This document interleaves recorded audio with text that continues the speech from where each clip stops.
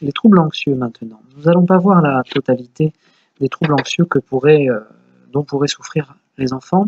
Nous allons nous centrer sur l'anxiété de séparation, le mutisme sélectif, les phobies spécifiques et l'anxiété sociale qui sont les plus fréquentes chez les enfants. Premièrement, l'anxiété de séparation. Là, je vais vous envoyer relire vos notes sur le cours que j'avais donné en début d'année sur les troubles, non pas sur les troubles, sur le développement psycho-affectif, où nous avions abordé la théorie de l'attachement et les différentes expériences qui avaient été faites auprès d'enfants de bas âge, avec donc Bowlby et Ainsworth. Quoi qu'il en soit, l'anxiété de séparation, c'est quoi? C'est caractérisé par une peur ou une anxiété excessive concernant la séparation d'avec la maison ou les figures d'attachement. Les comorbidités principales de ce trouble sont l'anxiété généralisée et les phobies spécifiques. Ça va toucher 4% des enfants et 1,6% des adolescents. Et ce trouble va décroître dans son expression à l'âge adulte. Ça veut dire qu'à l'âge adulte, les grandes personnes sont capables finalement de, de pallier à ces difficultés. Ça constitue le trouble anxieux le plus prévalent chez les enfants de moins de 12 ans. Et les facteurs de risque identifiés sont les suivants. Sur le plan environnemental, ça peut se développer suite à un événement traumatisant, particulièrement après une perte, c'est-à-dire la mort d'un membre de la famille ou d'un animal familier, maladie touchant le sujet ou un membre de la famille, changement d'école, divorce des parents, déménagement vers un nouveau quartier, immigration, catastrophes conduisant à des périodes de séparation avec les figures d'attachement.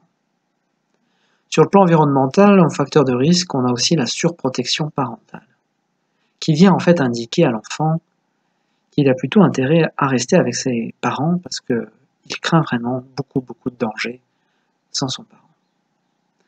Mais aussi un comportement parental intrusif, qui laisse finalement peu d'autonomie, peu d'indépendance. Sur le plan génétique et physiologique, c'est un trouble qui est héritable à 73%. Et ça se caractérise par un fonctionnement physiologique particulier.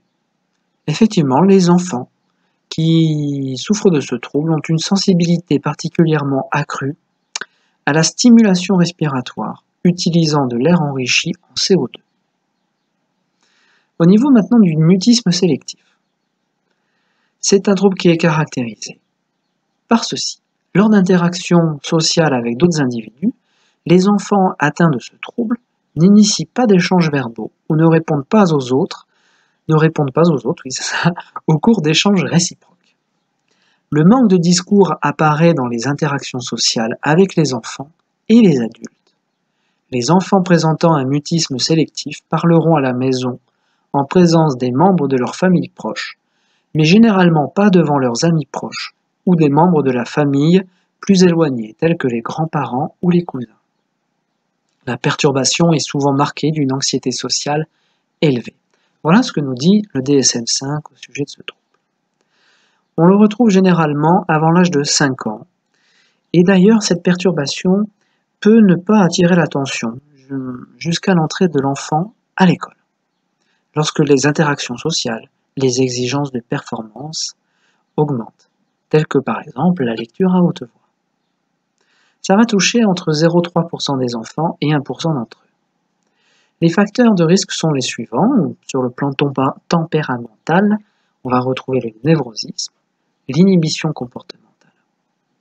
Au niveau des facteurs de risque environnementaux, nous allons trouver l'inhibition sociale de la part des parents, des parents surprotecteurs contrôlant davantage leurs enfants, sur le plan génétique et physiologique, on retrouve des antécédents familiaux, de timidité, d'isolement social et d'anxiété sociale.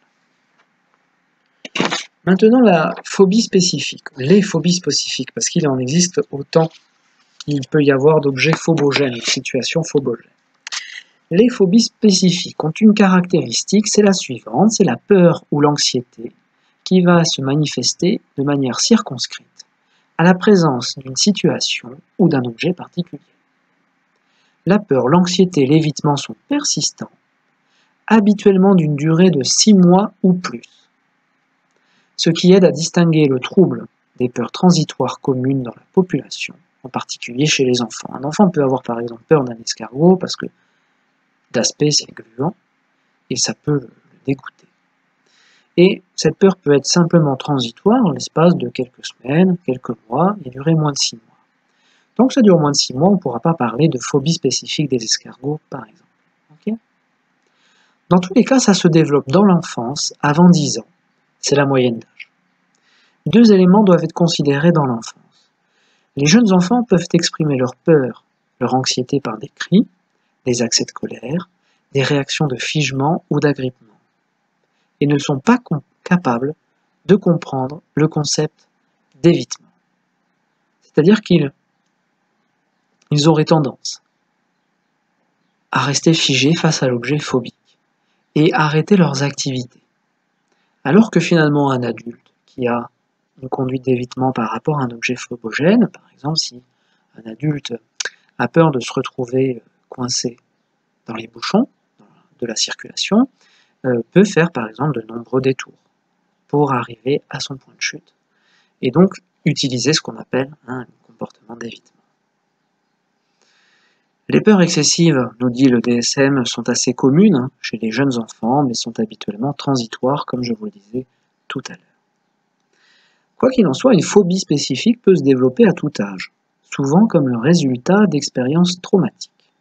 Ça va toucher 5% des enfants et 16% des sujets qui ont entre 13 et 17 ans, avec un ratio homme-femme de 1 homme pour 2 femmes. Les facteurs de risque sont les suivants sur le plan du tempérament, on va trouver le névrosisme, encore une fois, ainsi que l'inhibition comportementale. Sur le plan de l'environnement, surprotection parentale, perte ou séparation parentale, violence et abus sexuels.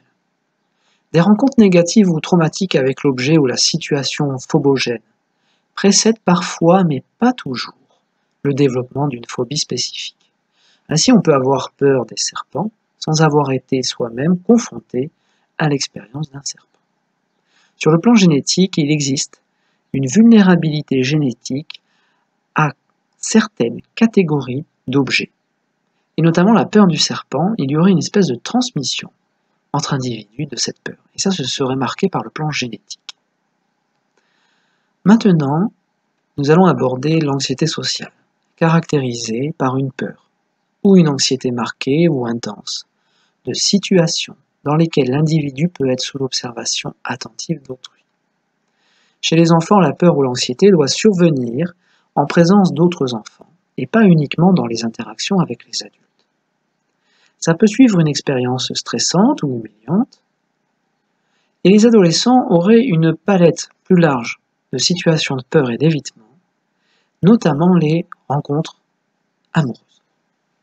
Ça va toucher entre 0,5 et 7% des sujets en fonction des pays et apparaître entre 8 et 15 ans. Vous remarquez que par rapport aux phobies spécifiques, l'anxiété sociale pourrait être ce que l'on appelait autrefois une phobie situationnelle. Finalement, la situation est la rencontre de l'autre. Les facteurs de risque à développer ceci sont un terrain d'inhibition sociale et comportementale, et la peur d'être jugé négativement, ou la timidité dans l'enfance, ce sont les facteurs tempéramentaux. Sur le plan environnemental, on peut retrouver des facteurs de risque tels que la maltraitance, des difficultés psychosociales durant l'enfance. Sur le plan génétique et physiologique, il existe donc des influences génétiques de l'inhibition sociale, et cette anxiété sociale est héritable sur un rapport de 2 à 6 fois plus de risque, si on souffre soi-même de cette anxiété, d'avoir des enfants qui souffrent aussi de cette anxiété sociale. Nous n'aborderons pas ici le trouble panique, l'agoraphobie, l'anxiété généralisée, qui sont des troubles relativement rares à se développer chez l'enfant et l'adolescent.